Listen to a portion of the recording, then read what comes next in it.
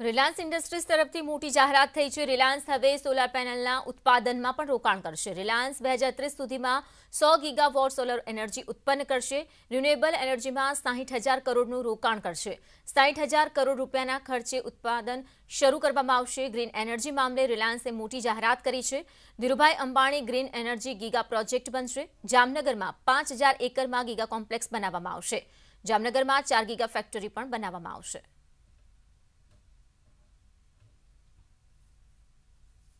That we have started work on developing the Dhirubhai Ambani Green Energy Giga Complex on 5,000 acres in Jamnagar.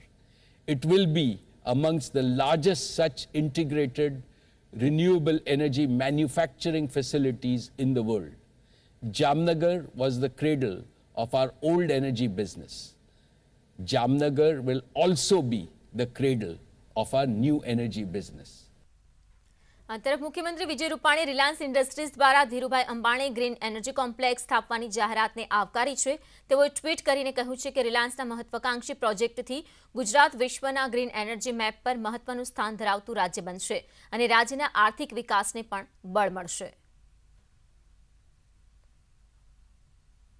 બીજી તરફ ઊર્જા મંત્રી સૌરવ પટેલે રિલાયન્સની આ જાહેરાતને નવી પહેલ ગણાવી. ગુજરાતમાં જામનગરમાં રિલાયન્સે બનાવવાની વાત કરી. એ માત્ર સોલર ઇક્વિપમેન્ટ સોલર મેન્યુફેક્ચરિંગ નહીં, પણ સોલર માટેની સ્ટોરેજ કેપેસિટીની બી વાત કરી. આજે સોલર દિવસમાં ઉત્પાદન થાય છે અને આપણે તે સ્ટોર કરતા નથી, કારણ કે બહુ મોંઘું પડતું હતું. એમણે સસ્તું ઉત્પાદન કરવા માટે જામનગરની વાત કરી.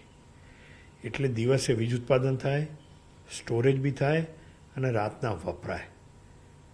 એટલે આ એક નવી પહેલ છે અને આપણને ગૌરવ છે કે ગુજરાતની ધરતી પર જામનગરથી થવાનું છે.